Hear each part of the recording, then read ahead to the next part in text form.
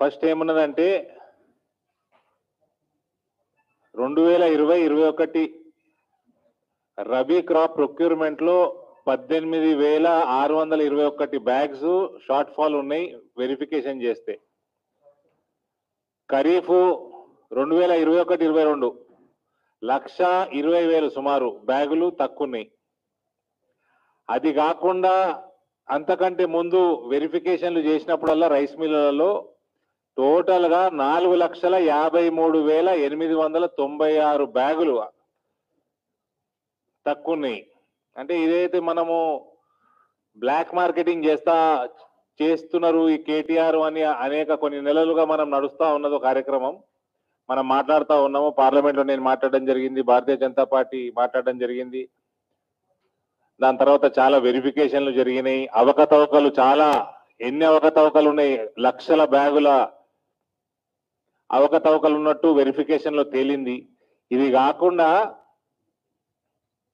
ఐదు వందల తొంభై మూడు మిల్స్లో అంటే దాదాపు ఆరు వందల రైస్ మిల్లల్లో బస్తాలు లెక్క పెట్టుకునే పరిస్థితి లేకుండా స్టాక్ స్టాక్ చేసినట్టు అంటే అలా ఆఫీసర్లు పోతే లెక్క పెట్టే పరిస్థితి లేదు. లెక్క ప్రకారం రూల్ ప్రకారం లెక్క పెట్టేటట్టు వాళ్ళు స్టాక్ చేయాల? స్టోర్ చేయాలా? అట్లా కాకుండా లెక్క పెట్టే పరిస్థితి లేదని రాసిచ్చారు. అది రెండు సంవత్సరాల కింద చేసిందినప్పుడు కూడా అదే రాసిచ్చిండ్రు పోయిన సంవత్సరం అదే రాసిచ్చారు ఈ సంవత్సరం కూడా అదే రాసిస్తున్నారు. రాష్ట్ర ప్రభుత్వం నాలుగు పది రెండు వేల ఇరవై ఒకటి కమిషనర్ సివిల్ సప్లైస్ కేంద్రానికి రాసి ఇటువంటివి ముందు ఇంతకుముందు జరిగినవన్నీ కూడా మేము సరి చేస్తాము అవి లెక్క పెట్టిస్తాము రానున్న కాలంలో ఇటువంటివి జరగవని లేఖ రాసిండు. Fourth October two thousand twenty one. ఇవన్నీ కూడా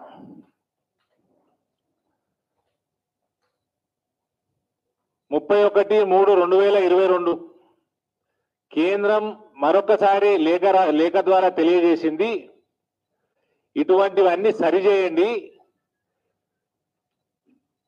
మీరు ఏం యాక్షన్ తీసుకుంటలేరు తీసుకోలేరు తీసుకోమని మీ లేఖ ద్వారా fourth October two thousand twenty one మీరు తెలియజేసి యాక్షన్ తీసుకుంటామని తీసుకుంటలేరు ఇప్పటి వరకు తీసుకోలేదు అని అలా గుర్తు చేసి మళ్ళా అన్నిటికంటే పెద్ద షాకింగ్. ఇక ఇది ఇది ఏందో మాకైతే అర్థమైతలేదు ప్రధానమంత్రి గరీబ్ కళ్యాణ్ అన్న యోజన ఏదైతే ఐదు కిలోల బియ్యం ఫ్రీగా ఇస్తున్నారో పేదలకి కోవిడ్ మొదలైనాక సుమారు మార్చ్ రెండు వేల ఇరవై ప్రాంతంలో మొదలైంది. అది కంటిన్యూ ఐదు సార్లు ఎక్స్టెన్ ఎక్స్టెన్షన్ చేసుకుంటూ పోయినరు అది ఇంకా నడుస్తున్నది.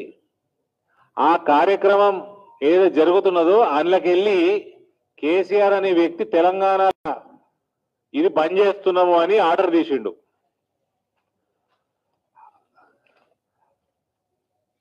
మాకు మరి ఆయన గరీబోళ్ళు లేరనుకున్నాడా? మరి కోవిడ్ ఎఫెక్ట్ మొత్తం వెళ్ళిపోయింది. అందరికి నౌకరీలు వచ్చేసినాయి. లేబర్ కూడా ప్రతిరోజు పని దొరుకుతున్నది అనుకున్నాడా?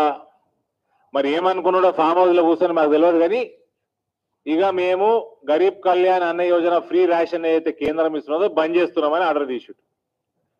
కానీ మీరు అందరు ఆశ్చర్యపోయే విషయం ఏంటంటే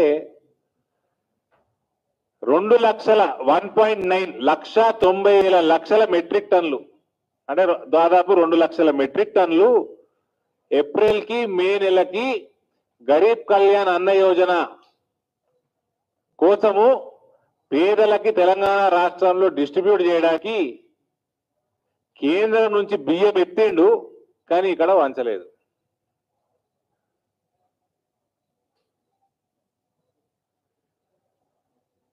It is also to bring to your kind notice that against PMG KAY, Government of Telangana has already shown lifting of considerable quantity, 1.9 lakh metric tons from DCP stocks against April and May 2022.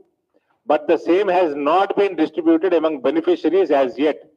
Here it is pertinent to mention that PMGKY is a government of India scheme where free food grains are being distributed among poor people because of not distribution of free rice stocks already lifted by the state government the beneficiaries are deprived of the benefits of Garib Kalyan అన్న యోజన మరి ఏడిపోయినాయి రెండు లక్షల metric టన్ల బియ్యం ఎక్కడికి పోయినాయి అని